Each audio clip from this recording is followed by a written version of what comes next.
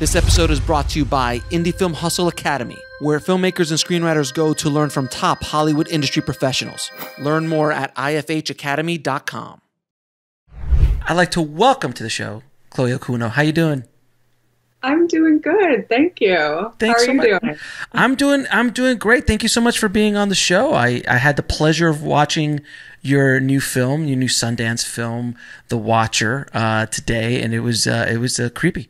Uh, it was uh, pretty pretty creepy. So we will get into it. But before we get started, how did you and why did you want to get into this insanity that is the film industry? Oh wow, yeah, what a question. I've asked myself that question many times over the years. Questioning my decision to do this instead of going to law school. Um, so I um, I'm from Pasadena, so I guess I grew up on the periphery of the business, but my family isn't in the business at all. Um, and I think when I was around in high school, I just I loved movies and it was the only thing I was really passionate about and I sort of started to you know consider the idea which seemed very far-fetched at the time of being a filmmaker um, because there were so many filmmakers who I just had completely fallen in love with so um, yeah I think around high school I, I thought about getting into the business and I did like a a six week directing course at the New York Film Academy where they let us loose with like 16 millimeter cameras and like Mhm. four person crews, and none of us knew what we were doing, but they taught us the very basics of cinematography and film editing. Um, and I completely, you know, fell in love with the process of actually making movies. So, uh, yeah, it was, it was, it's been quite a few years now uh, that I've sort of tried to make my way through this very difficult business. and was there a film that lit your fire to do this? Oh, God, that's such a good question. I mean, I think there were probably quite a few. I'll be honest, I was a major Quentin Tarantino stan when I was in high school, Mhm. and I continue to think he's fantastic. So when I was um, I was living abroad in France for like a year, and it was kind of a terrible experience in a way. I was really lonely and miserable, but I went to see Kill Bill like seven times in the theater, and it just provided such a source of comfort and escapism. And I think like that sort of solidified for me the idea that this is what I wanted to do. That's well, it's not a bad movie to be inspired by, uh, and yeah, Quentin, Quentin has inspired a couple filmmakers, not many, but a couple. over, over the over the years. Now, I've noticed that from your filmography, you've kind of leaned towards the horror and suspense genre. Uh, is there a specific thing that kind of caught your eye and why you kind of love, you know, telling stories in those genres? I think for me, it's just a particularly um, intense and therefore cathartic experience to be afraid and to get your heart rate elevated. And I just, I love, you know, filmmakers who work across the horror and thriller genres. You know, I like growing up Tarantino, but it was also David Fincher and the Coen brothers and John Carpenter and you know Tobe Hooper and Wes Craven, and I just I really fell in love with people who were able to um, make movies that like terrified me, but also energized me because I think just their filmmaking craft is for me personally the most exciting. Yeah, without without question. Now you started off as a PA, like many of us do, uh, and was there something? Uh, those was there a time in? Is there some? Is there a question, or excuse me? Is there something that you wish someone would have told you? Some piece of advice back when you started this ridiculous, insane adventure of being a filmmaker. Um, because I say that because I say that with I call it the beautiful disease uh, because of the beautiful sickness because it is. It's like it's a sickness, but it's a beautiful one. It's the it's the the path of the artist. Um, but it's insanity. We're carnies. I mean, we're essentially carnies. We went we went off and joined the circus. Yeah, completely. Yeah, no, I mean, I think it, it is weird. I was thinking about um, like the when I even first started making movies and how intensely stressful it was. But you even sort of fall in love with the stress. You know, you fall in love with the highs and the lows, and you definitely fall in love. I think with sort of like you said that carny lifestyle of like going from movie to movie and having these really you know, incredible like experiences with these people and then moving on to the next one. But yeah, I mean, I, I wish that I don't know that anyone could have given me any advice that like would have persuaded me one way or the other. You know, hmm. I think in this, you're in it, and like you just you you if, as long as you continue to love it you keep going and i think there are a lot of people who ultimately get disillusioned with this business and why wouldn't they because it's just heartbreak after heartbreak after heartbreak and i've certainly experienced that i mean i've been working you know since graduating AFI in 2014, I've had so many projects kind of fall through the way it, it shocking, happened. shocking, shocking. Okay, what a shock. um, and you really do. I think the other thing is like coming up with, you know, your fellow um, filmmaking friends you really see that this business is just you're on a roller coaster. And sometimes people will have a very high moment in the, their careers and you'll feel very low by comparison. Oh. but then that reverts immediately you know? And i think it's just like if, if there was advice and i sort of just learned it by sticking with it for this long but you know if someone had just sort of told me like just sort of ride the ups and downs because that is part of it you know? Don't get discouraged too much but at the same time I certainly like have a hyper awareness that I need to enjoy this moment in which my career is going well and I have a movie in Sundance because you know in a year from now it could be a totally different situation so I think you just sort of have to to keep going and and try not to um, let it psychologically damage you permanently. because this is a thing that they don't teach you like at film school. They don't talk about this. This is not part of the curriculum very often. It, they teach you how to run a camera, they teach you how to work with an actor, they teach you how to light something, but they don't teach you about the realities and the hardships and the resilience that is needed. And I know you know this as well coming up. There are people you know colleagues of yours that you look at and like how are they directing like how did they get that job you know because there's people who are not as talented sometimes, but they're more resilient. And and some and and you just look at it, you're like, man, they just hustled harder than everybody else, and they're working. Hustle, you gotta hustle. right. It's so, but is that resilience that is not that is the that's the thing that I try to preach on the show so much is that resilience that you need to to handle the the, the those blows, those as Rocky Balboa says, take the hits and keep on and keep on moving forward. I mean, 100%. That's what it feels like. I, I sort of feel like it's it's about tenacity and resilience. It's almost a war of attrition. Like who can stay here the longest and take the most hits. And I genuinely feel like one of the reasons that I'm still here in this business is that unfortunately or fortunately, I have a very high tolerance for other people's bullshit. You know, I just I I I actually don't. It bothers me, but at the same time, I understand that you just sort of have to take a lot of bullshit in this business and like navigate it and keep, you know, figuring out how do you can make your movies, but also weather all the stupidity that surrounds you constantly. So. now, and I'd love to just dig in a little bit on your comment. Is like, you know, it's it's who's willing to stay here and continue to take the hits. That is the definition of insanity. Like that is literally like you don't see that in the cookie the cookie business. Like you know, you know, you don't see that. It's just like it's this constant, just constant thing. And I always find these, you know, because you've won in, in many ways. There is a lottery ticket mentality to filmmakers. Like the next one it's like we're we're constantly betting on black or betting, you know, at the roulette table. Like the next project's the one that could blow me up. The next project's the one that's going to get me to the big gig.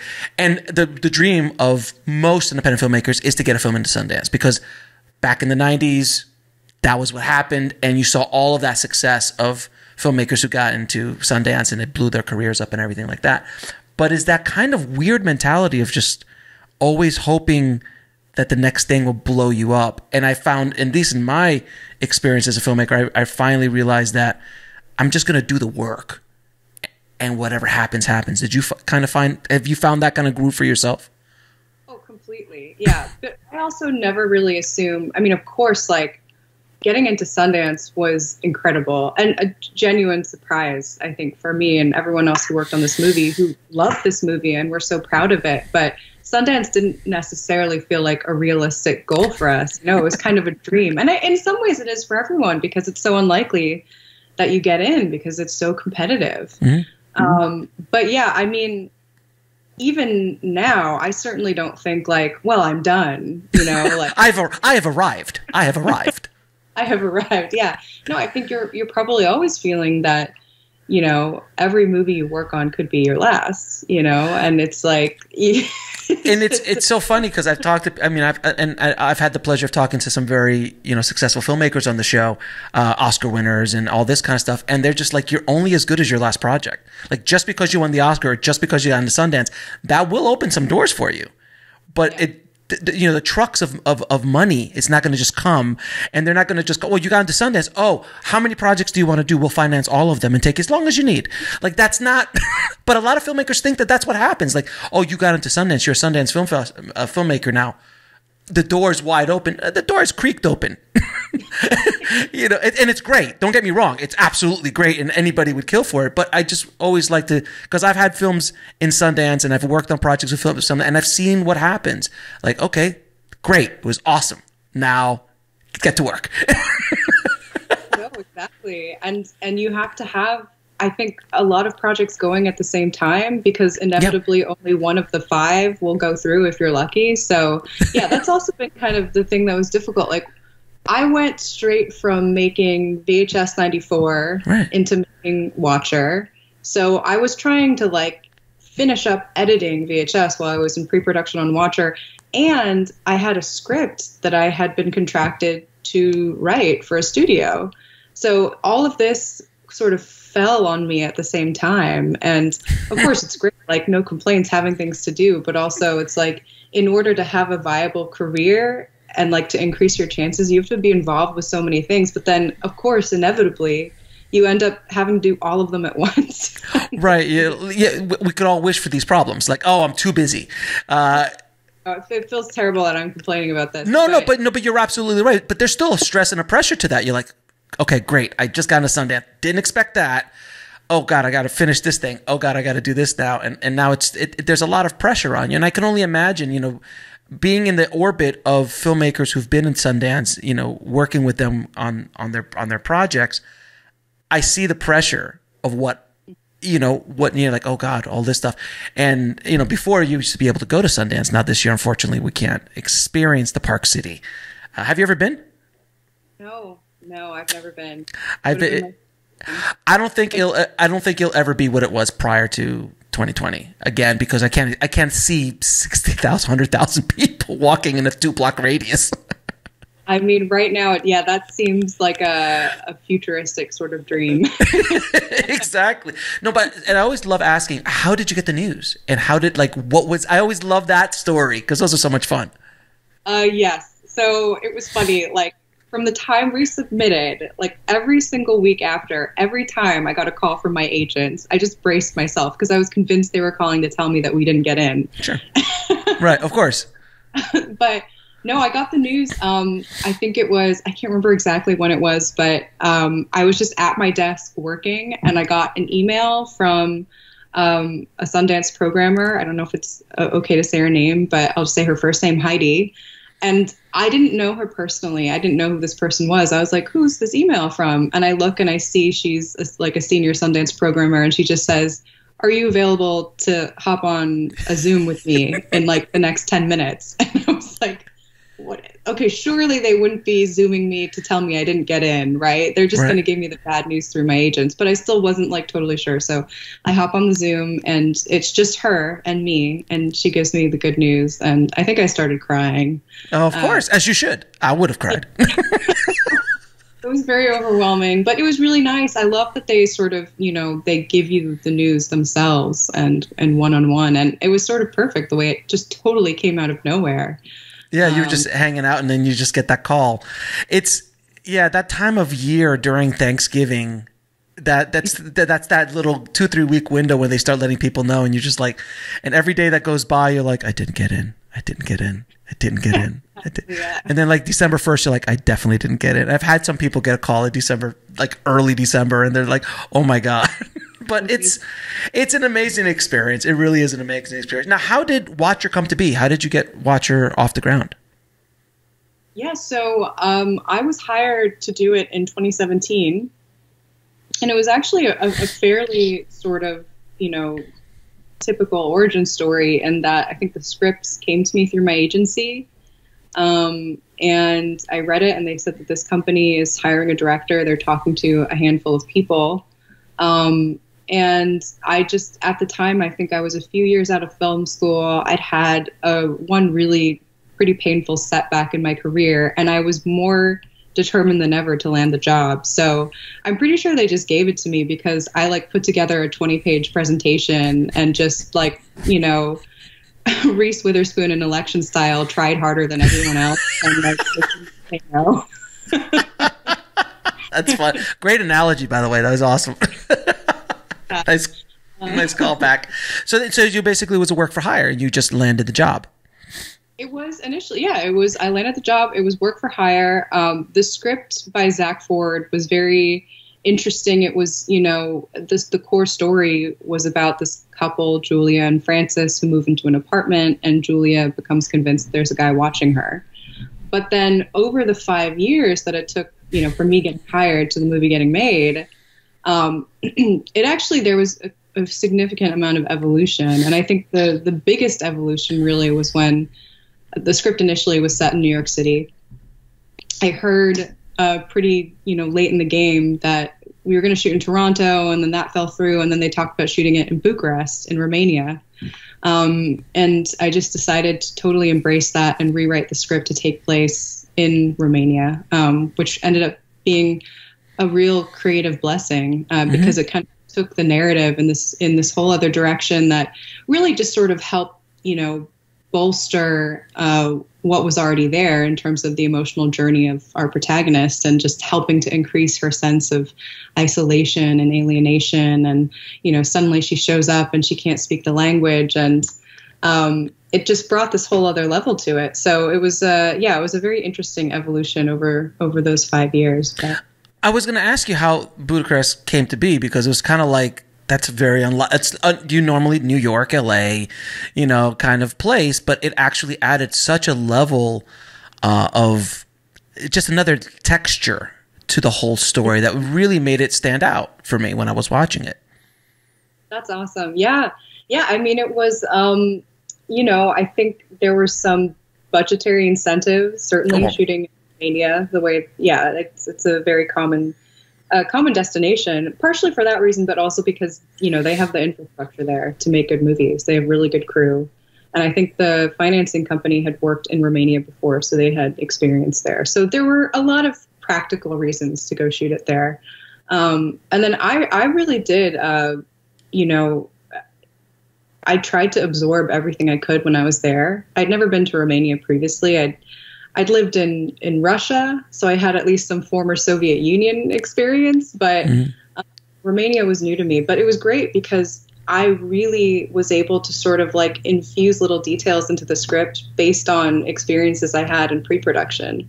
Like there's a scene where Julia goes into this beautiful sort of museum and she mm-hmm. gets chased out by this angry security guard who's screaming at her in Romanian and she doesn't understand what he's saying.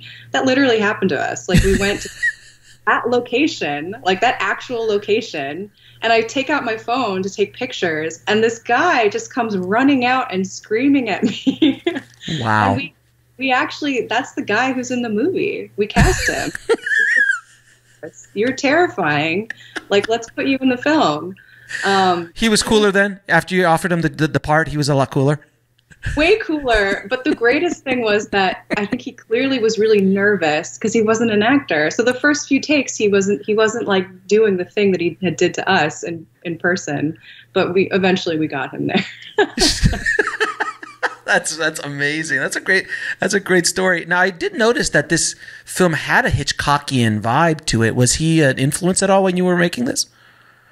Absolutely. I mean, definitely from a pure narrative perspective, like Rear Window, I think was massively influential on this movie. You know, mm-hmm. it's it's sort of I think like directly referencing it in many ways. Sure. Um, and visually as well. And I think we're all trying in some ways to emulate Hitchcock in terms of you know his ability to create tension and suspense. Um, so yeah, he he was a reference. Um, David Fincher was a reference. Uh, I could see that. Yeah, I could see yeah. the Fincher esque thing in there, no question. Absolutely, yeah. Um, there is a a great uh, Japanese movie called Perfect Blue by Mhm. Satoshi Kon, which actually ended up being quite influential as well. It's about like a Japanese pop star who's being stalked by one of her fans. Nice. Um, so yeah, there there were um, quite a few uh, influences, and I, I hope that you know they came together in some way that makes sense.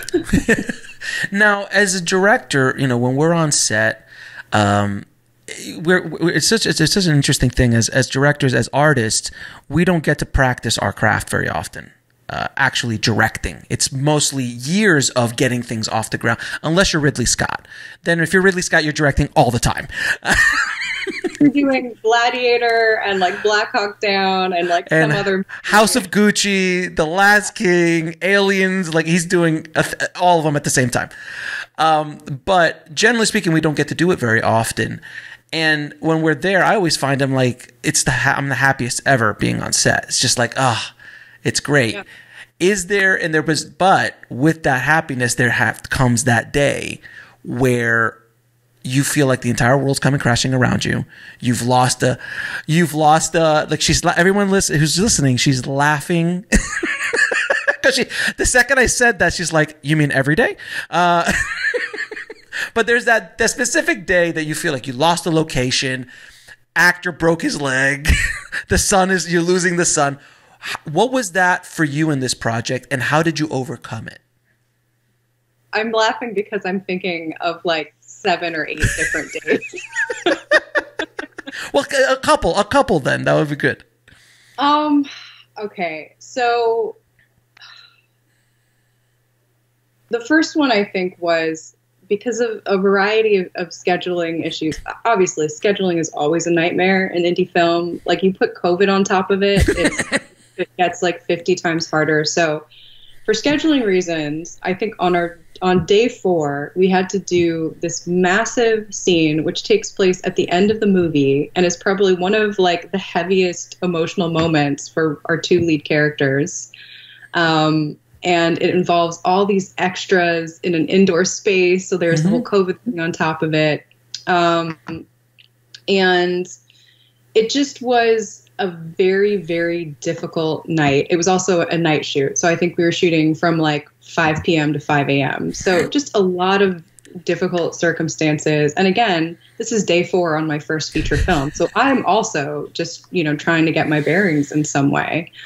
Um, so that was very hard and um, in without going too into detail i think you know because of that level of stress on every single person in the production there was a little bit of drama no, on a set? Stop a it. little, a little bit of drama um, and I, I i feel like i i you know got through it the way that you usually do which is to sort of just grit your teeth and like you know ride it out and try not to get too rattled and try not to let it make you too emotional? Because i will say like like genuinely women on set especially when you're in a position of power Yeah. you, people don't will not give you a lot of grace when it comes to showing your emotions. You have to be very careful about it. You have to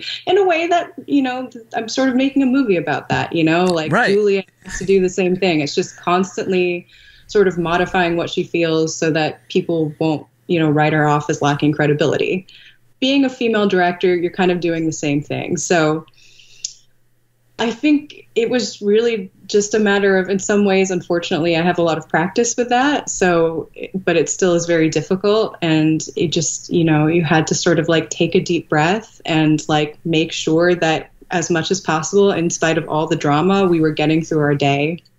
Um, and at the end of it, it did feel fairly miraculous that we we made it. You made your day. Okay, yeah. Which which is interesting because I mean I've had multiple female uh, directors on the show and I love talking to female directors because it's a perspective of, of directing that I don't have. I'm a Latino filmmaker, so I have that perspective. But uh, you know I've never dealt with a lot of things that female directors have to deal with, and vice versa.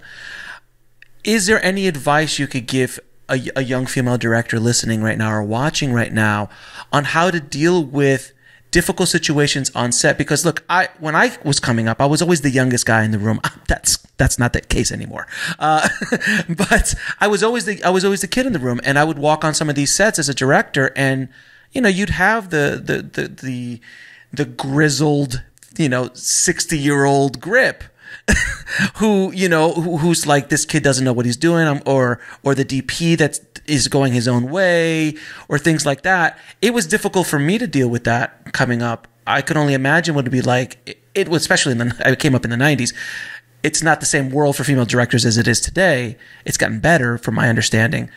Is there things that you can give any tips on how to maneuver those for female directors or even just young directors who just when you've got a dp who's like yeah, I'm going to shoot it my way. What are you going to do? What are you going to do about it? You know, or production designers like, nah, I don't think that's the way to do it. And like, and you've got to, you've got to kind of show some teeth. yeah. Yeah, you do. I mean, I think my, my advice would be, I, I find it very difficult to stand up for myself and advocate for myself as an individual. Mm-hmm. And I think that's not uncommon with women. For whatever reason, we've sort of been taught not to do that. And if anything, I think we're sort of, it's ingrained in us to try to make other people around us comfortable, mm-hmm. right? And that's not what you need to do when you're directing a movie. but what has really helped me is sort of telling myself, okay, I'm not standing up for myself, Chloe Okuno. I'm standing up for this movie that I'm trying to make. So the movie, like the movie that you're trying to make, the thing that is going to exist at the end of the day outside of you in some ways, that becomes a thing that I'm just like, I'm protecting this. And it doesn't really matter what people think of me. I'm I'm standing up for what I believe is right for the sake of this movie that I'm trying to make. It almost becomes like a separate entity, like a little baby that you're trying to protect. Okay. That makes sense. That's a that's a good way of looking at it. Like you, you separate yourself you take yourself out of it, and now you're like, no, I'm the mama or the papa bear of the of the movie. Yeah, yeah no, exactly. And and even doing that, it's still very hard, you know. And it's always hard when you're a director because you're working with people who are experts in their fields and you are not. So they're looking at you like, what do you know? It's your first movie, you know, or, or you know, I've been doing this so many more years than you have. But truly, like, I really find, first of all, if I make the wrong decision, I'd rather it be my wrong decision than me accepting someone else's wrong decision and living with that. You know, oh, that's yeah. that's always better. Mm-hmm. Um, but also, I really feel like you know the thing that directors have that no one else does is we've lived with the movie for probably years. Like we know it inside and out. We should know why we're making a certain decision. It's not kind of for other people it might be isolated but for you you're taking it within the context of the entirety of the movie. So how is production design going to work with cinematography and the actors and everything else that you've planned to tell this very particular kind of story in the way you want to? So it, it i find it constantly challenging every day to have the sort of confidence to tell people what i want especially when they give me a lot of pushback but that's sort of I feel like for me, like that's the essence of the job in some ways. Yeah, and I mean, and uh, you know, I forgot that this was your first feature, so you had that to deal with. And how did you get from, you know, how did you get your agent from Shorts? Because I know a lot of people listening are like, this is your first, you know, everybody wants their first feature. Everybody wants to get their first feature gig, especially a work for hire, is unheard of. You know, you normally have to build it all yourself and find the financing yourself and get cast by yourself and all this stuff.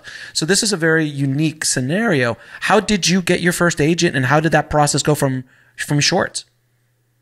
Uh, yeah, so I got it. I, I had a the short that I made coming out of AFI was called Slut, and it was like a coming of age horror movie, which did pretty well on the festival circuit. So I, I can't even remember exactly how they saw it, but they saw the movie uh, my former agency and reached out to me and wanted to rep me, which was incredible.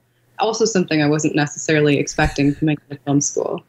Um, so that's how that happened. But like I said, you know, that was in 2014, and it's now 2022, and I'm you know, only now premiering my first feature. So that tells you how long it took to get to this point. Even with it, even with agents, even with agents. Even with agents, yeah that's the thing that a lot of filmmakers and screenwriters need to understand is like just because you have an agent doesn't mean that you're going to just be working all the time. Oh no no. oh no no. Even with agents, I think you you know you still have to really be pushing all the time yourself. You got to be hustling, and and they might open some doors for you, like this opportunity that presented you Yep. with the Watcher, you know, and, and you were you were you electioned it out, uh, and got the, and got and got it. Now going back to, I think it was Full Circle, your first uh, short film that kind of made the rounds. I guess that well, Full Circle was uh not exactly. So when I was 19 and I had been like working as a PA on all these indie sets, I made this little movie called Birdman, and I didn't know what I was doing. It was one of those ones where I like wrote it, produced it, directed Sure. it, edited, it. And it, it's a miracle that it even got made because it was just me stumbling around in the dark. But yeah, there was that one, and then when I was at AFI, I made a few shorts, one of which was Full Circle which hasn't really been seen because at AFI, your first year, you make these shorts, but they're sort of designed to be done very quickly for no money, and you don't get the rights to anything. So they can't really be distributed or go to festivals. Of course not. Why would they? Right? Yeah. Uh, so was there a were there some major takeaways early on in your career that you kind of brought into your careers? Because I remember one big first first time I did my commercial reels. This is back in the '90s where I shot on 35. I hired two DPs. There were two DPs on set. This is how bad this situation was. I've never had any ever since. And the professional crew that was hired, they're like, why are there two DPs? Like, why? They owned a grip truck and they had access to a film camera. So I say, well, if they own the gear, they must know what they're doing. Mistake that I never, ever made again. And that was something I brought in from those early days of me starting out as a director. So, is there anything that you brought from those early days doing your shorts? Yeah, I, I never want to produce something that I'm directing at the same time. You said, no, I'm good. I'm good. yeah, I mean, it, it was probably it was a good experience, but no, I mean, it's just like directing. If you're really lucky and you have good producers, um, you know, they're the people who allow you to focus creatively because just that, just the creative focus takes up 100% of your time. So when you're trying to like make the movie, but you're also thinking about like when craft services is going to arrive, it's just not conducive to.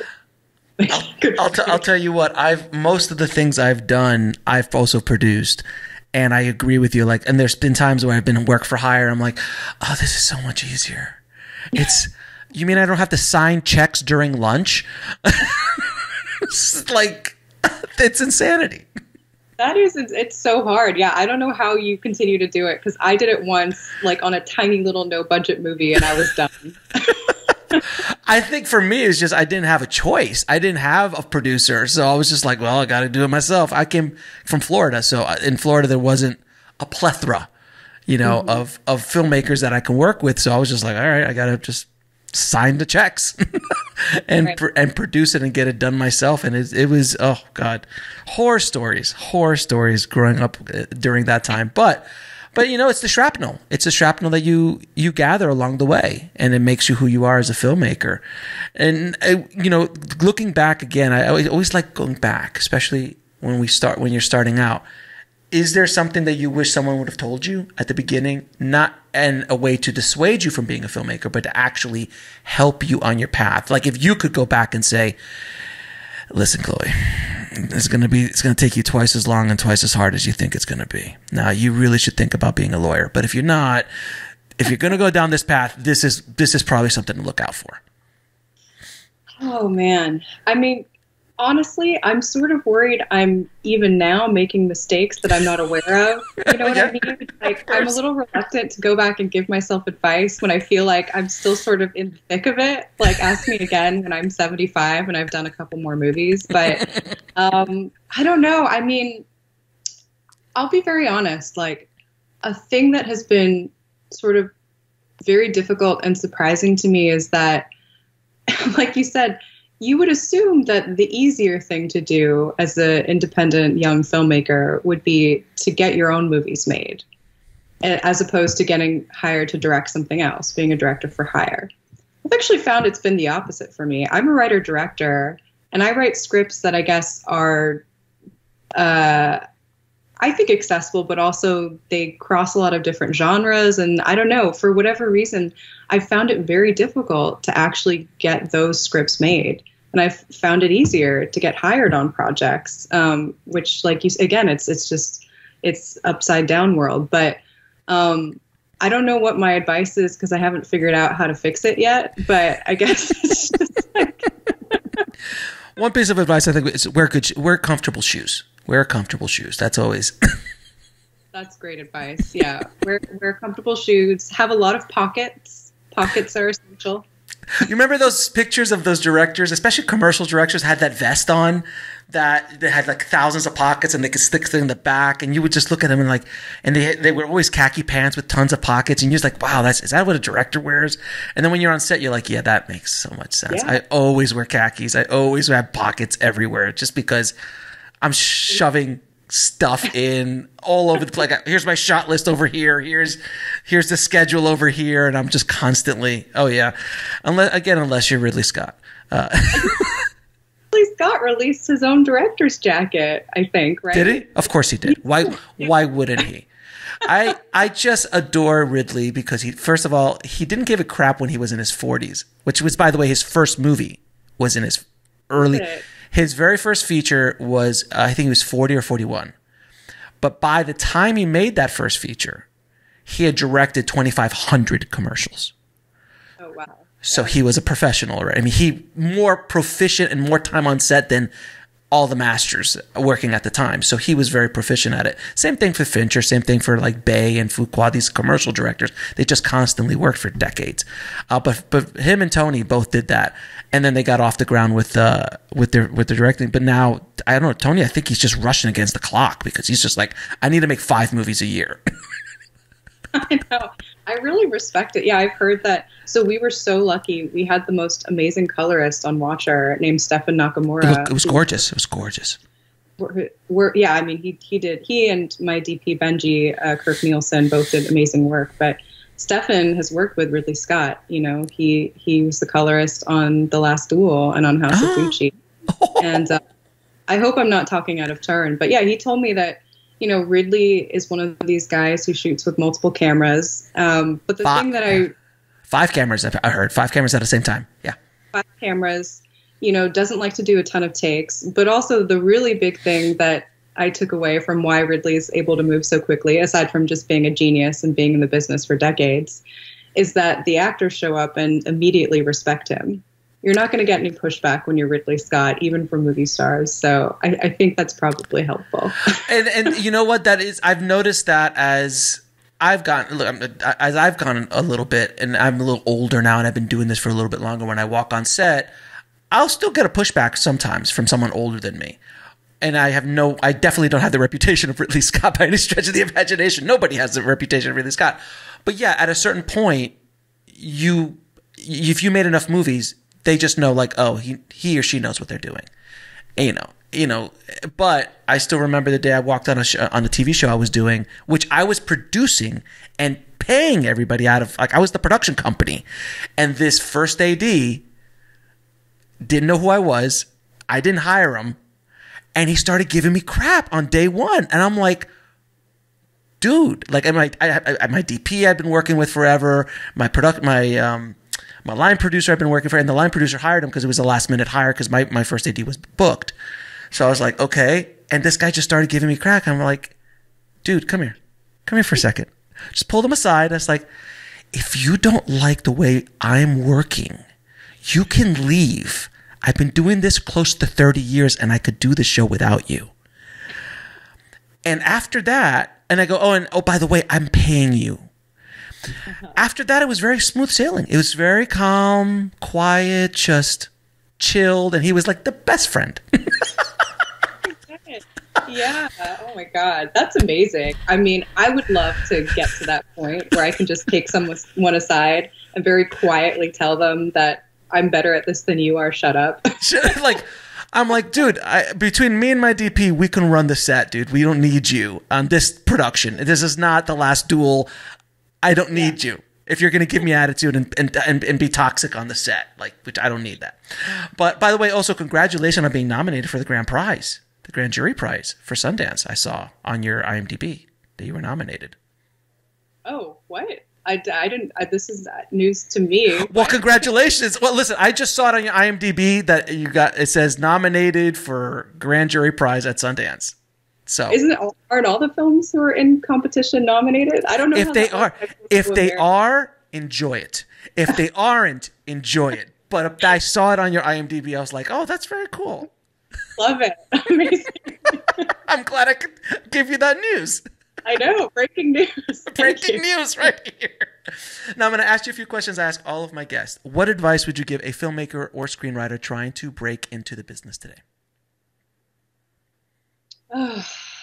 um, my advice would be to, like I said, it, it could sort of backfire in some ways, but um, don't be too precious, first of all, because there's no perfect project.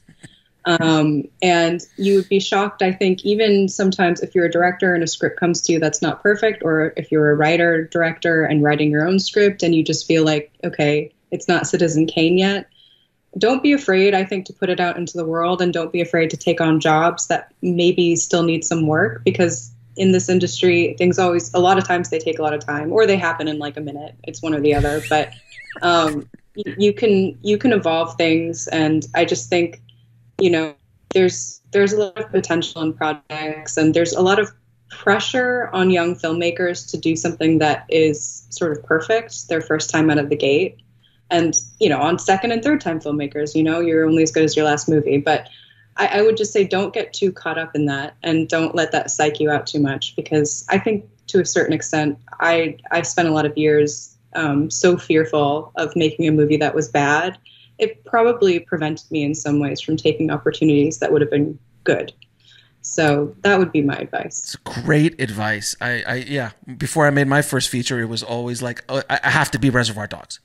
Has to be El Mariachi. Yeah. Has to it has to be Clerk. It has to be this thing that blows up, and it's not. Yeah. that's an anomaly. Just do the best work you can and move forward. Um, now, what is the lesson that took you the longest to learn, whether in the film industry or in life? um, I'm still continuing to learn to.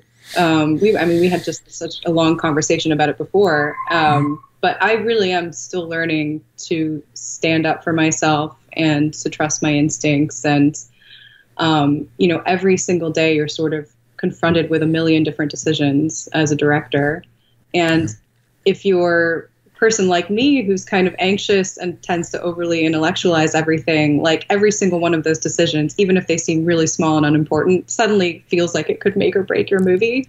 And maybe that's true but it's probably not true. Um, and i think it's just like ev- literally every single day i direct i'm I'm having to push to believe in my instincts and just believe in myself. And um, I don't know if I'll ever fully learn that lesson because I think it's part of the process, like going through that struggle. Um, and maybe that's what makes things interesting. Like there's an inherent tension there. Well, I'll tell you what, don't feel bad because I've talked to some of the biggest people in the business, and they all feel the exact same way. The imposter syndrome. It's a it's a real thing. I think it's just inherent of being an artist. Uh, it, so it happens to all of us. when I when I hear that when I hear certain Oscar winners going, "Yeah, I don't know if I can write this," I'm like, "Dude, you just won the Oscar. What's wrong with you?" Like, yeah, I don't know. I still can't. I don't think I could do it. Uh, and last question: three of your favorite films of all time. Ooh, okay. Um, Harold and Maude, way way up there. Yes. Uh, Alien, also probably my favorite horror movie of all time. Mm-hmm. Um, and then the last one, I'm, I'm going to say Once Upon a Time in the West. Oh, nice, very good, yeah. especially that opening sequence. Oh. The opening sequence, like. I think that opening sequence, and also the sequence where they're like at the well and mm-hmm. like the gets shot and the music that like Ennio Morricone score it just there, there, was something about that that just sort of like changed me when I saw it. So. That's great choices, Chloe. Thank you so much for being on the show. I wish you nothing but success uh, and congratulations again on being at Sundance. Enjoy this moment. It does go fast. just just enjoy the ride because it's going to be a fun ride for you. So, continue success, my dear. Thank you so much. Thank you.